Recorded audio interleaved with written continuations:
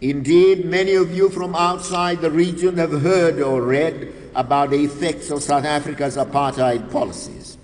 The regime's economic disruption and political destabilization and their destructive effects upon the lives and welfare of the blacks in South Africa and the peoples of the entire region.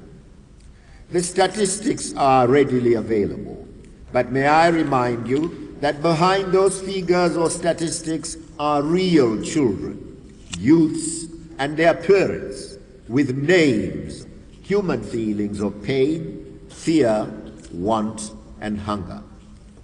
I trust that this important conference on children, repression, and the law in South Africa will enhance your appreciation of this fact even more and the need to move to action to stop the suffering of the little ones and their parents.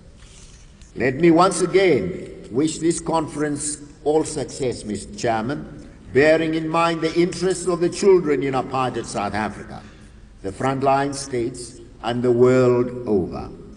It is now my great pleasure to declare this International Conference on Children, Repression and Law in Apartheid South Africa officially open.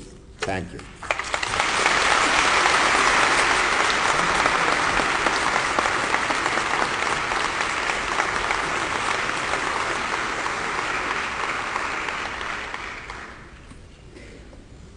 For action, for considered action, and we are deeply grateful